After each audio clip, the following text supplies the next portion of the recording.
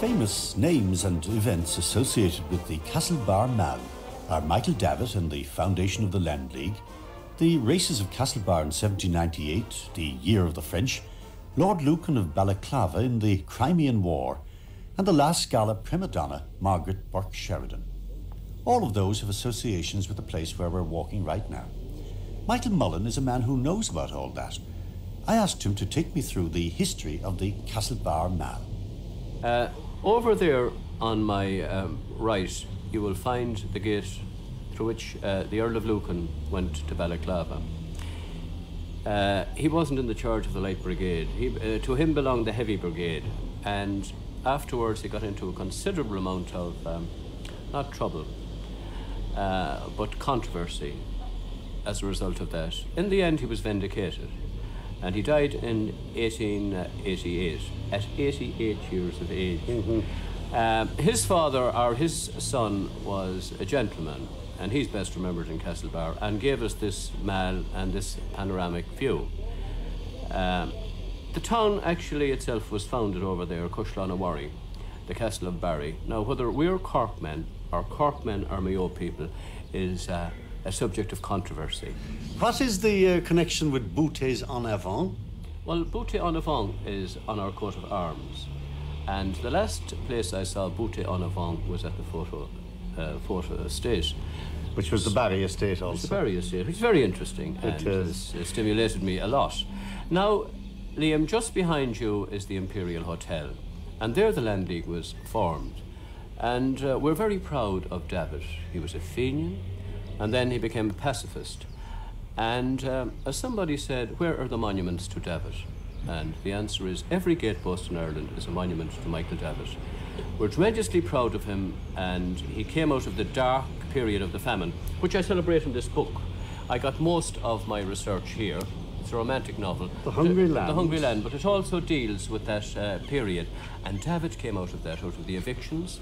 He returned here to Castlebar, and then he uh, had two marvellous years, and he changed the history of Ireland.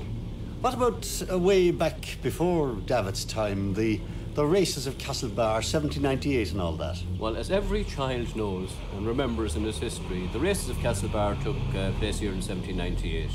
Quite an incredible thing when you think that a Napoleo- uh, Napoleonic army came through a gap called the Windy Gap there, attacked Castlebar, threw the British troops into confusion, and the races of Castlebar took place around this mall here.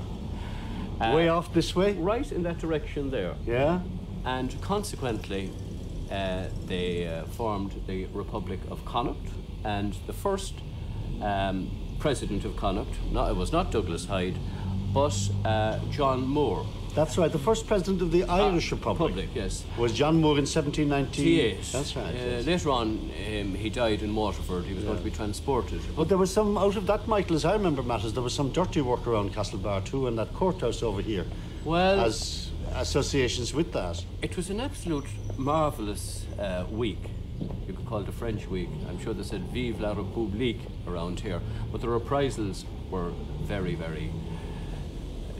They were terrible. Yes. And Father Conroy, who had sided with uh, Humbert, was taken from that courthouse and he was hanged over there on a hanging tree. And his parishioners from Addergoole came and they took him, and he's buried now beside Lough Conn. I would say he was a priest who was trained in France, knew the French language, and had great sympathy for the Republican cause. I suppose the, the best remembered Moore of all has to be George Moore, the novelist.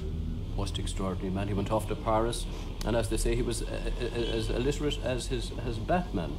He went to become a painter, by the way, knew Degas and all that, but he met Zola and lots of writers. He came back here to Ireland and he established the um, realistic novel.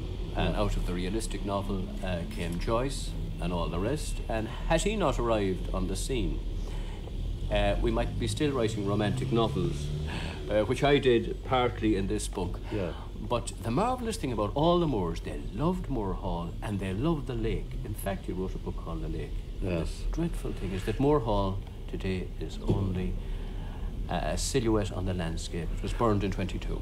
What about the other great names of Castlebar? Uh, there was a, an engineer an illustrious engineer around these parts. Well, Louis Brennan, most extraordinary man. He'd most extraordinary father. He was the man who brought, brought um, gaslight to Castlebar and an artist in his own right. But Louis Brennan was an Australian, brought to England because he had the dirigible torpedo, which meant that all the English coast could be defended by the invention of a Castlebar man. And he also invented a helicopter and, above all, the gyroscopic monorail. Difficult thing to get Which was very useful in times of war, of course. tremendously useful that you could put a single rail through jungle and um, terrain like that, and you could run this train on it. Uh, he also had 38 inventions to his name.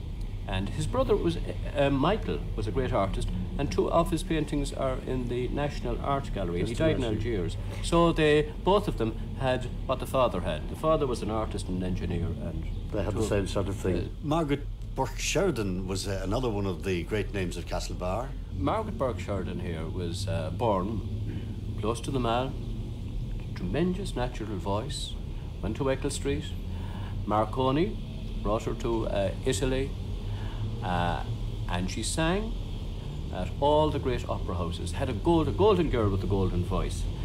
Uh, very patriotic, very proud of her country, and when Terence MacSwiney died, she got news. She cancelled all her, her operas, uh, her performances in Milan, and they said La Sheridan, or the Sheridan, Yes.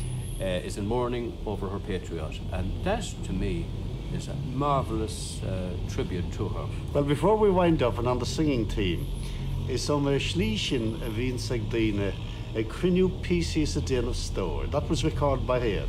Yes. And he was a man associated with Castlebar. Well, uh, I believe that he was uh, in prison here during the 1798 rebellion. I'm sure when it was all over, he went back to Erris and he enjoyed his life there, And wrote Preab san Ól. uh, which I translated. and Well, are you going to sing a verse of it for me? I will, on the occasion. There are many ways of collecting pieces and stacking treasures in heaps of gold. And devil a penny you will take with you when you lie under the tombstone cold. If you rule kingdoms or marshal soldiers, a duke, a king, or a grand signor, there's ne'er a penny they'll bury with you. So lift your glasses and drink some more. So that's my tribute.